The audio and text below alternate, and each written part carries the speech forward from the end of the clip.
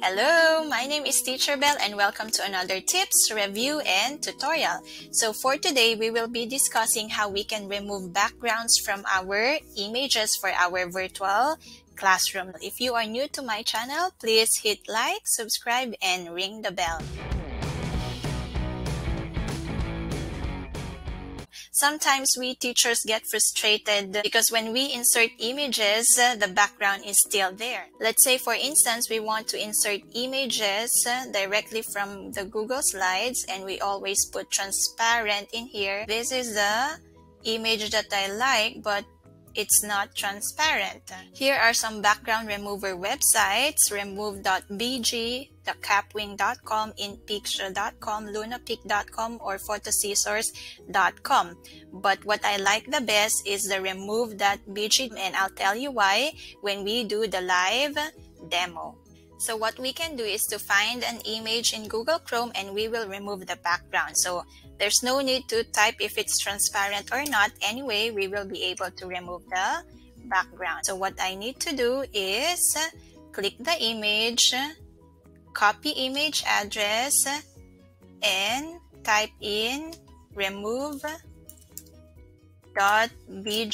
So there are two ways you can insert your image. You can upload it if it's from your computer or you can copy the URL which we have done a while ago. Copy the URL and it will automatically remove the background. If you are satisfied with how it was cropped, then you can go ahead and copy it in your Google Slide. So there are two ways to do that. One is you can download it and save it on your computer or you can go straight to the picture, right click and copy image, go to your file, paste it. There you go. This was the original fishbowl that I was trying to copy. Now this is the cropped image. Now the remove BG is what I like the best because it crops the image smoothly. Let me just show you a comparison of the remove BG and another website. So let's try this. Let's try another website just to compare the difference. Let's use photoscissors.com and we will upload the same picture. This is from the photoscissors.com some of the green parts are still on the background of this uh, image, whereas in Remove BG, it's completely white in between.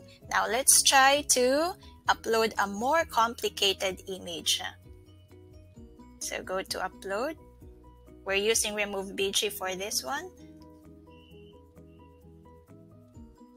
Okay, there you go. It's quite perfect except with a little bit of extra background. We will remove that later.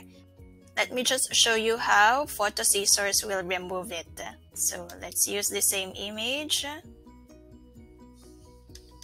So here's the difference. This is from photoscissors.com.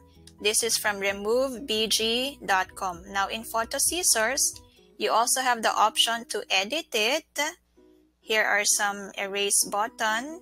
If you don't want to include this part, you can just erase it.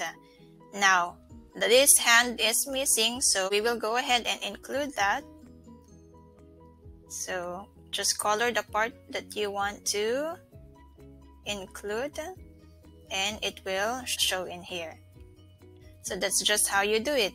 The same in remove background, you also have the option to do that. So go to edit and erase. Okay, there you go. And in remove BG, you can also change the background or the color. But we will not do that since our goal is to remove the background. But let me just show you how. Okay, so that's it. And it's the same. You can right click the image, copy image, and save it in your Google slide.